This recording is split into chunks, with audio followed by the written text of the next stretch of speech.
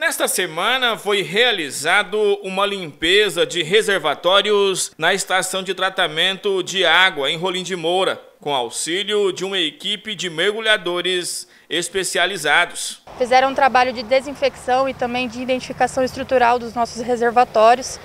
Eles tiveram todos os equipamentos, é, protetor, máscara, tanque de mergulho, para que pudesse fazer esse trabalho lá dentro, retirando os resíduos. A manutenção é semelhante à limpeza de piscinas, com a aspiração do material sedimentado. Uma equipe que fica com uma guia de oxigênio fazendo esse trabalho manualmente para garantir uma eficiência melhor do resultado. Com estes procedimentos, os reservatórios que somados têm a capacidade de aproximadamente armazenar 2 milhões de litros de água, equivalente a duas piscinas olímpicas, Toda a higienização foi feita em apenas um dia aqui no município de Rolim de Moura. O trabalho de manutenção preventiva dos reservatórios é essencial para garantir uma água de qualidade para a população. O período de desinfecção estrutural ele é de acordo com a estrutura do, do reservatório. Né? Esse trabalho que ele faz,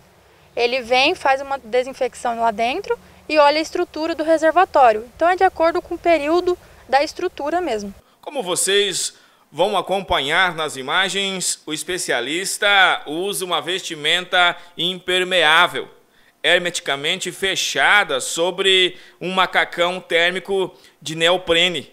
Na cabeça, uma máscara, espécie de capacete integralmente vedado, completa a proteção. Nele estão acopladas uma câmera de vídeo, lanterna e microfone.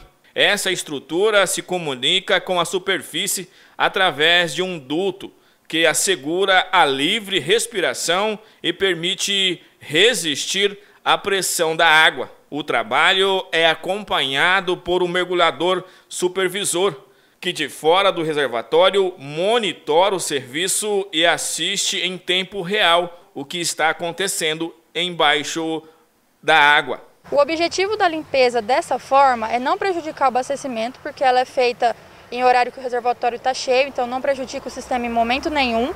E para garantir a qualidade e a segurança operacional do nosso sistema, porque ali a gente identifica se tem alguma rachadura, alguma infraestrutura danificada.